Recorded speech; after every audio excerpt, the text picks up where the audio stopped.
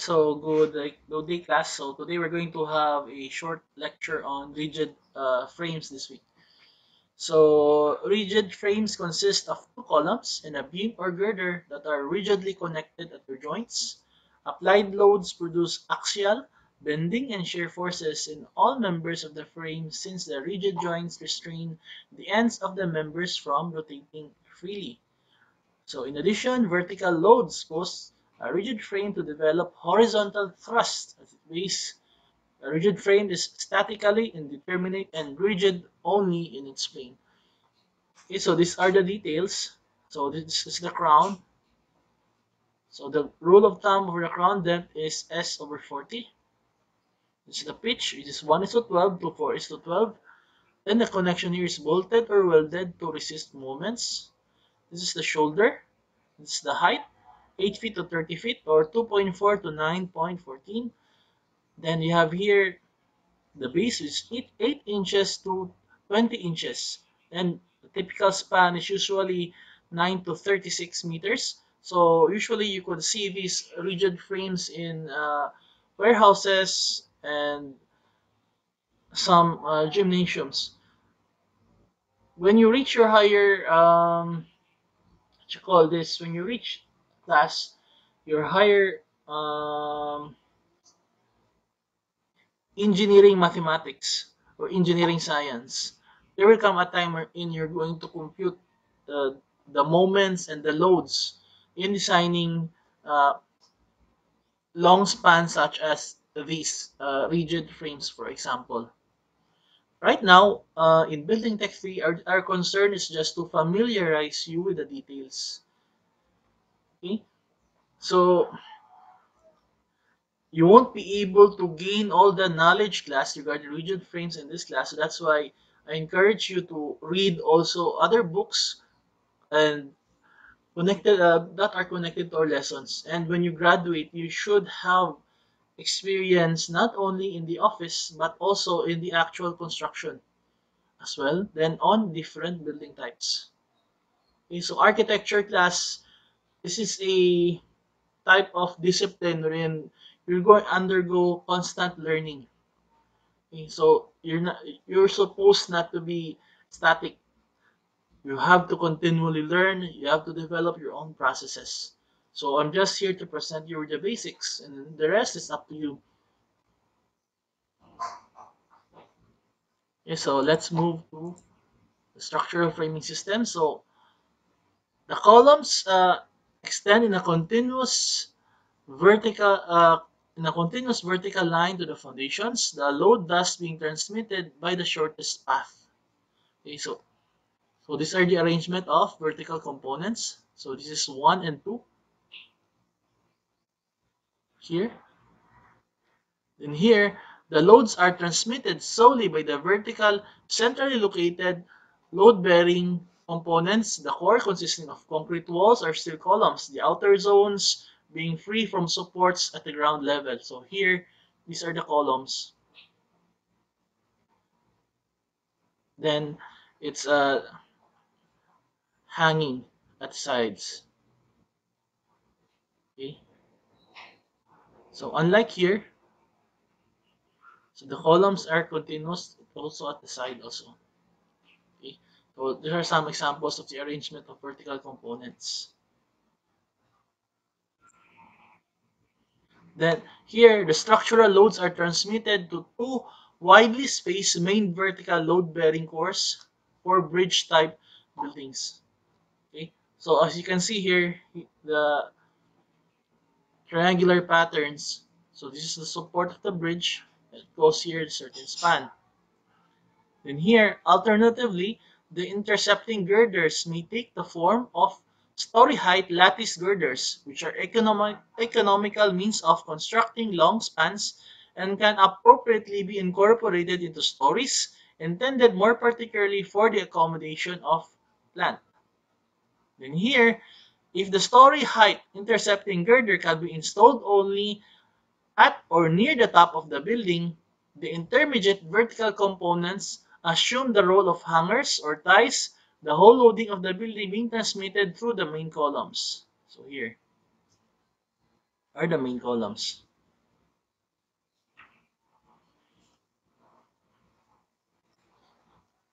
Okay, so how to strengthen the framing system?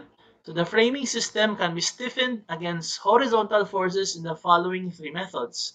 The first is the structure is composed of rigid frames which may comprise some hinged joints, but there must be sufficient rigid joints to ensure that none of the nodes of the frame is free to move sideways.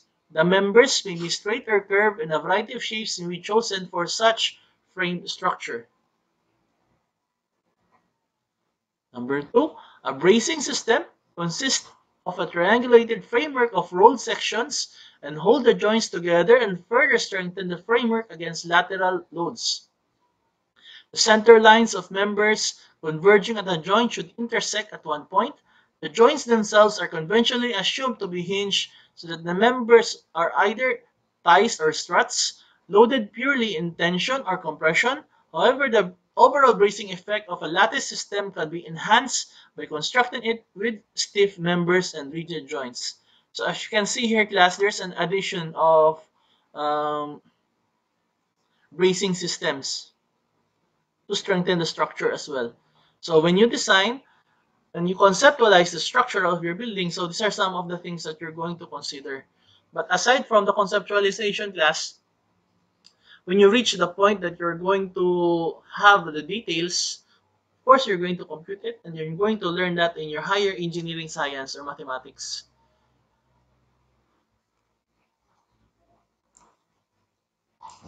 And the third, finally, shear walls in the form of more or less solid diaphragms, usually of reinforced concrete, transmit the wind and earthquake forces by shear and bending. Okay. So as you can see here, there's a shear wall to strengthen the building.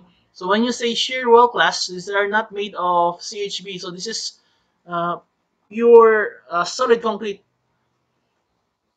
So it's really strong. Okay, so remember the three um, ways in strengthening the framing system.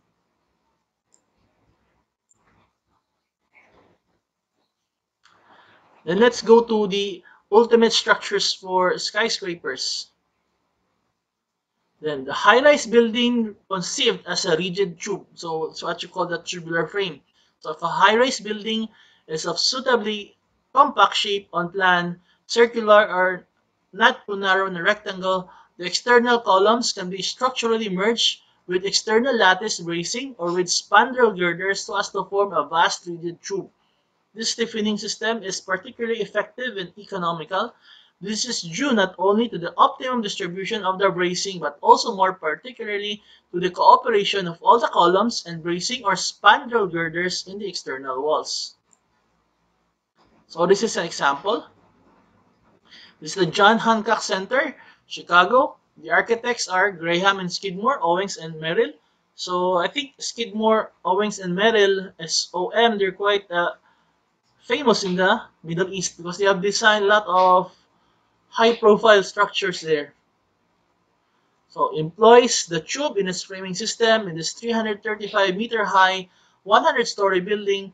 All the horizontal forces are transmitted through external bracing, thereby substantial saving has been achieved in comparison the bracing system located in the interior. The external lattice members form a distinctive architectural frame.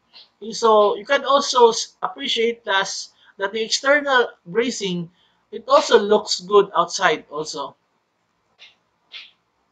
Okay, as well as it is uh, structurally functional as well.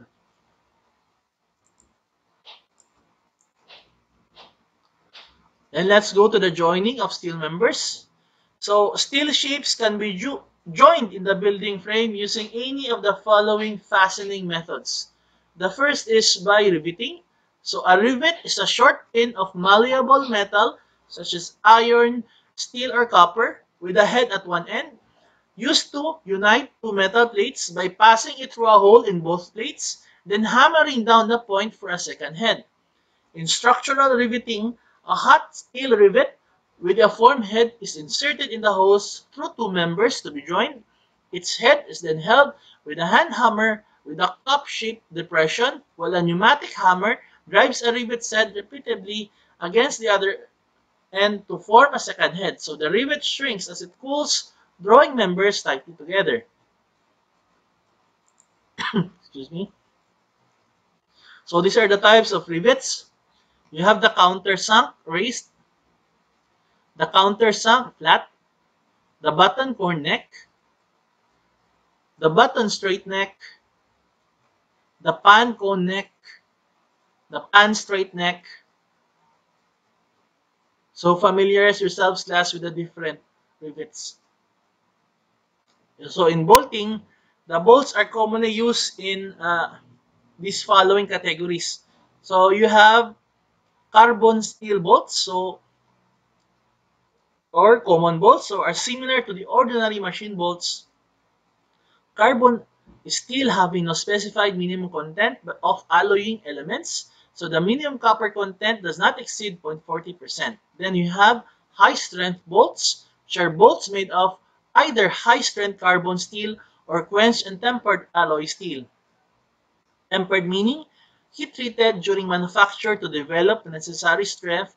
It is usually tightened using pneumatic or electric impact wrench. Okay, so this is our last slide. So a major problem in high-strength bolting or friction type connections is how to verify the necessary tension has been achieved in all bolts in a connection.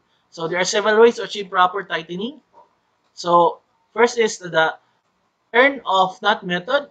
It's a load indicator washer and then the tension control bolt. So this is a round head stove bolt. This is a flat head stove, stove bolt. This is a carriage bolt and this is a square head machine bolt. Okay, so let's end our lecture with this one. Uh, if you have any questions or clarifications, class, please ask, send an email. Because I won't know if you have any questions if you don't um, if you don't send feedback in our group page or in my email or even through our through in YouTube. Okay, so see you next meeting. I'll be posting our activities in our respective pages for both 2A and 2B. Okay, so stay safe and stay motivated in pursuing your dreams to become architects.